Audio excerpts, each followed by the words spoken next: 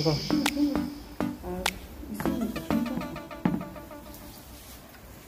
아 고기 갖고 계신다고.